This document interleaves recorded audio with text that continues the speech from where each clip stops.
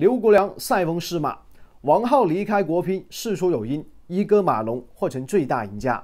大家好，欢迎收看本期的阿三砍球，我是阿三。在视频开始前，辛苦大家长按底下的关注和点赞按钮，让阿三的视频给更多关注刘国梁、关注王浩的球迷看到。谢谢大家。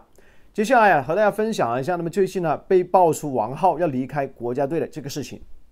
那我们知道，其实啊，对于我们中国队来说，中国乒乓球队在近来呢，可以说收获了一连串的好消息。首先，在此前新加坡比赛当中呢，获得了所有项目的五块金牌。那么之后，在多哈挑战赛当中，我们的这个备选队员呢，就是二三线的那些队员呢，也是接连收获了金银牌。所以，对于中国队来说，这些年轻主力呢，整体的成长非常的不错。而这一切呢，也都要归功于呢，这背后这些教练组的努力。所以可以说啊，我们中国乒乓球队想要继续传承下去，保持世界第一这样的一个态势呢，国乒教练是非常重要。但是今日我们也知道呢，那么在最近随着陈启离开国家队之后的话，王浩呢也同时被爆出貌似已经离开了国家队，而且之后的话可能要啊这个去往这个省队啊去工作。所以当时这个消息出来之后呢，那么很多球迷其实是相当震惊的。毕竟在他此之前的话，已经是有三位主教练呢，分别离开国家队，分别是黄海成、郭燕以及陈启。那么这一次，如果说王浩也离开国家队，那么也就意味着呢，四个教头已经同时离开，对国乒教练组来说呢，是一个重大的损失。在后续对于这些年新球员的培养和跟进呢，也会造成重大的影响。所以目前来看的话，那么大家都担心啊，刘国梁在这一次失去了四个得力助手呢，之后的工作很难开展，而且可能对后续的一些啊奥运周期的备战工作呢，也会造成严重的障碍。那么从目前来看呢，根据媒体的报道呢，那么其实这一次啊，王浩离开呢，其实是事出有因的，并非像外界所说的那些内斗的原因，更大可能性呢，是因为他和陈启一样呢，可能现在这个年纪，他想把更多的时间呢，回归到他的家庭当中。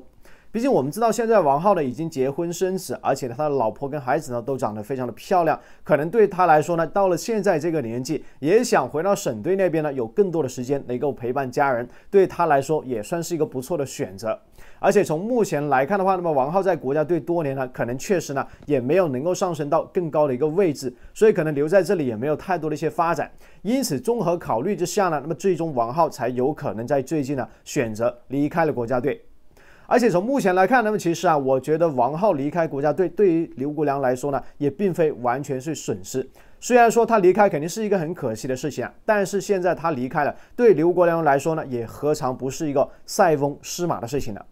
那么我们知道，其实啊，这最近呢，可能大家最关注就是马龙的动态。作为一个老将呢，虽然现在还拼搏在一线，但是呢，其实对于外界来说，大家都觉得马龙呢很有可能是刘国梁的啊这个接班人。那么从目前来看，不管是球商、情商，还是说说他的一个整体执教能力啊，都是非常优秀的。所以可能这一次随着王浩离开之后的话，也不排除马龙在接下来呢，很有可能选择退役之后呢，到国家队这边呢，正式顶替王浩的位置，成为国乒的新的教练。那么这样一来，其实对于刘国梁来说呢，一方面能够培养自己的接班人，另外一方面呢，也能够迎来新的一些教练来填补这些离去教练的位置，对他来说也其实是一个意外收获。所以其实从目前来看呢，我觉得那么对王浩他的离去肯定是觉得相当惋惜。但是与此同时呢，我们也应该看到好的一方面。那么现在我们国乒呢整体也是人才济济的，随着这些教头离去之后，他们可能要回归家庭了，我们也必须尊重他们的选择。但是另外一方面呢，我们也相信呢会有更加年轻的一些人才、球员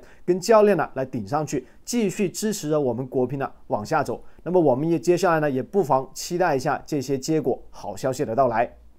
好了，本期的阿三砍球就聊到这里。喜欢阿三的，记得点赞、关注、评论、分享。我们下期继续开心聊球，拜拜。